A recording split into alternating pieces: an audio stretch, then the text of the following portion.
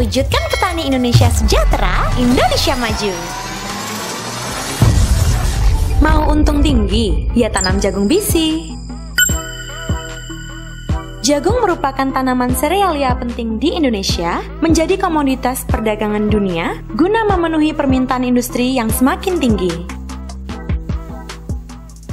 Dari segi harga 228 terjangkau dari petani, memang jos mantap dari segi tongkolnya, dari batangnya kokoh, tahan bule, terus masalah perawatannya mudah. BC 228 harga rakyat untung berlipat. Peningkatan produktivitas dan kualitas hasil pertanian semakin penting.